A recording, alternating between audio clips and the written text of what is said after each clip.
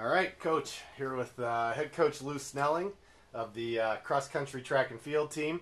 Coach, track and field, indoor track and field season about to get started uh, here this weekend. And uh, just wanted to kind of sit down with you, talk to you a little bit about uh, the upcoming season, what we can expect out of the Falcons this year. So, um, you know, we'll jump in. This is your third year now coaching the track and field programs. Um, where is the program as compared to you know when you started? What you thought it would take to get uh, you know to the level you want to get it to in, in year three? Yeah, you know we're we're at an interesting place right now in terms of um, you know we're, we're a roster of 40 uh, on the women's side. Uh, 30 of the 40 are underclassmen in terms of eligibility, which you know we're two recruiting classes in, and at this point, so uh, it, it makes a lot of sense. Uh, the nice thing is, uh, as young as we are this year, we're still not as young as we were last year in, in a lot of ways. So we're starting to see the experience. Uh, we're starting to see the leadership. We're starting to see the development athletically, uh, which is uh, which is exciting. Um, and I think uh, that'll be reflected in, in um, you know how indoors and outdoors ultimately go. I think we saw that a little bit with cross country uh, this fall uh, as well. Yeah. Yeah. We've seen the cross country program take some strides. We've seen we even saw track take some strides last year. Certainly not to where you I know you want it to go to, but but what kind of expectations do you have for this team this year? Eleventh place in the indoor season a year ago. Um, what kind of expectations do you see? Yeah, you know, a lot of it revolves around improving. Uh, obviously, scoring points at the MAC championship at the end of the day is, is the most important thing. Um, but uh, you know, I think a lot of that's going to happen just by uh, us taking more steps uh, with the the athletes that have been here uh, for two years uh, plus, and then a lot of the freshmen that are coming in, our newcomers that um, we do expect to have, you know, an impact right away. Sure. Good. Let's let's kind of break it down a little bit. Um, looking at this year into kind of three positional groups and and just talk about those groups and how where they're progressing. Uh, we'll start with the sprinters, jumpers, and hurdlers. Mhm. Yeah, I mean, you know, Jeanette obviously is, is our big name there in terms of returners. Uh, it, you know, this is her fifth year. She has both indoor and outdoor eligibility, so we're really excited uh, about that. Uh, you know, we hope to send her off with, with a great year as a whole. So uh, she's healthy and fit at this point. Um, had some nice performances at the inter squad meet uh, before Thanksgiving. So really expecting big things for her. You know, she's been runner up. Um, you know, indoors uh, in the 60, I believe, twice now. Um, so you know, we'll see if this is her year. Sure. Yeah. Absolutely. Uh, let's talk about the distance runners. We saw some, a lot of those in cross country, but I know it's a different kind of thing altogether running track and field. Yeah, you know, in terms of uh, our, our big name returners, you know, it's it's Andrea, Old, and Jasmine uh, Redmond. Um, you know, Andrea was seventh uh, outdoors in the steeple last year.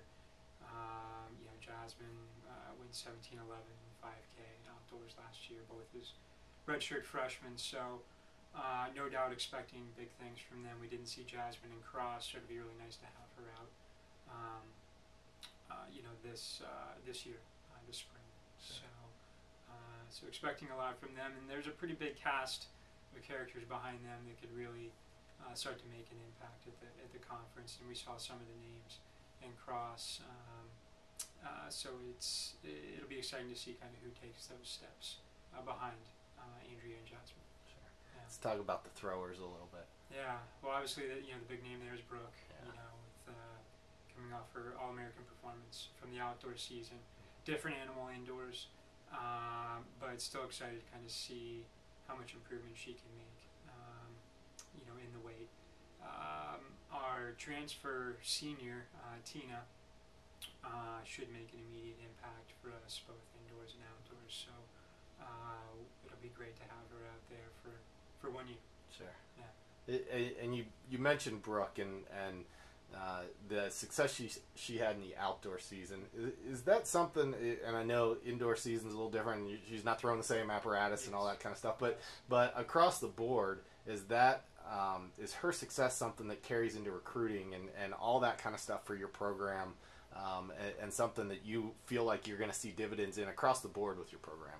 Yeah, absolutely. I mean, I think we we've seen that uh, in our current recruiting class. You know, things that have happened in, in 2013 has uh, definitely been really positive for us. You know, Brooke being an All-American, uh, a lot of the other performances from a lot of the other girls that um, you know we haven't seen here in, in some years. So absolutely, that helps the recruiting process because we can, you know, unequivocally point to the fact that these girls have been here one, two, three years, and they're developing, uh, you know, in a, in a really exciting way. Yeah, absolutely. Um, you talked about being a little bit more experienced this year than than you were a year ago, but you have a lot of newcomers on this team as well, uh, and kind of sifting through them all. What what are some names that we might at the end of the year we might be hearing as uh, as as those who are impacting this program in a positive way? Uh, you know, uh, one of our other transfers in the in the sprints uh, jumps group, Alicia Arnold. I think you'll see her name a lot. Uh, she was very impressive in um, our inter squad meet, uh, pretty much step for step with Jeanette. Uh, then you had the jump side with her, um, and yeah, she's somebody that you're going to hopefully hear a lot from in the next several years. You know, uh, at Bowling Green, uh, you know, you, you go to the, the throws group and you have uh, Corey Reiser coming off a red shirt. She's a red shirt freshman. Um, you know, I, I think you're going to see her name and hear her name a lot um, with Bowling Green track and field. So that'll be that'll be exciting. Um, you know, from a distance standpoint, um, you know, we have a couple freshmen right now. A nice group of freshmen that, that I think are gonna you're gonna see their names a lot. Rachel Durbin, um, who helped us out this this fall. Uh, Brittany Dara, same thing. She helped us out this fall. Um, so you, you'll start to see their names more and more as we go through uh, the next couple of years. Sure. Yeah. Sure. And then we look at those returners, and we, we you mentioned a few people, Jeanette Brooke Plager, those kind of things. But uh, some some of your student athletes who might make a jump this year uh, after another year of you know training in the program. Yeah, yeah. you know, I think um, I mentioned Corey uh, Reiser in, in the throws. I think uh, that's going to be a big, big uh, impact for us.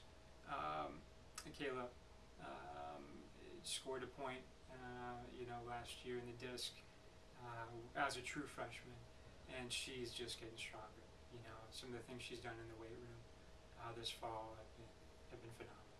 You know, so you'll see her take some steps. Um, you know, Brittany Sinclair, you heard a little bit from last year, particularly as part of the relays, but more so indoors in the open quarter.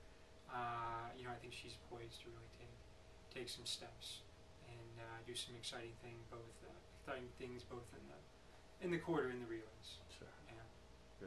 And and we'll close this out.